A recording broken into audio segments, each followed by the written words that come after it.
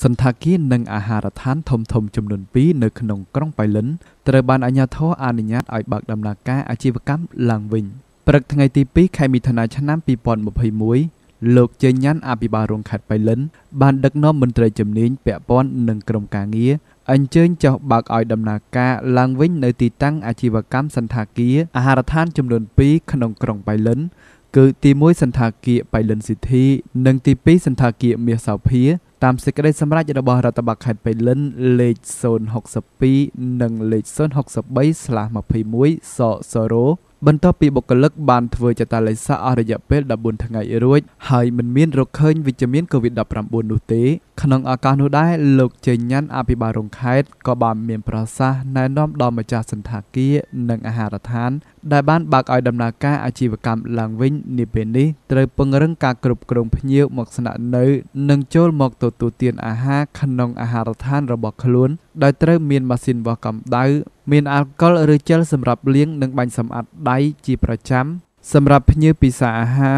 ពី1ទៅ1រក្សាកម្រិតសុវត្ថិភាពពី1ម៉ែត្រកន្លះឡើងទៅ ជាពិសេសតម្រូវឲ្យភ្ញៀវ scan QR code COVID-19 ទាំងអស់គ្នា ដើម្បីងាយស្រួលក្នុងការគ្រប់គ្រងភ្ញៀវចេញចូលលោកអភិបាលរងខេត្តបានមានប្រសាសន៍ផ្ដាំផ្ញើដល់មន្ត្រីជំនាញនិងអាជ្ញាធរមូលដ្ឋានគ្រប់ជាន់ថ្នាក់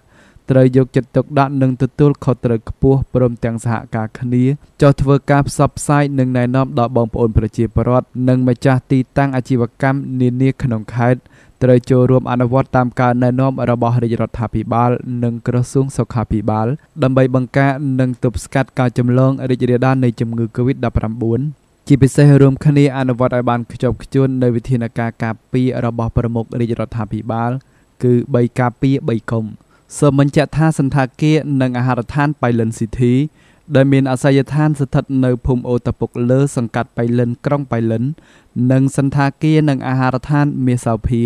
មានអាសយដ្ឋានស្ថិតនៅភូមិវត្តសង្កាត់បៃលិន ក្រុងបៃលិន ត្រូវបានរដ្ឋបាលខេត្តបៃលិនចេញសេចក្តីសម្រេចលេខ054/21សសរោចុះថ្ងៃទី19ខែឧសភាឆ្នាំ2021 ឲ្យផ្អាកអាជីវកម្មជាបណ្ដោះអាសន្នដោយសារតែមានការពាក់ព័ន្ធនឹងករណីអ្នកជំងឺ Covid-19 ឈ្មោះ នំ ដុង ភេទប្រុសអាយុ 36 ឆ្នាំ មកពីរាជធានីភ្នំពេញ។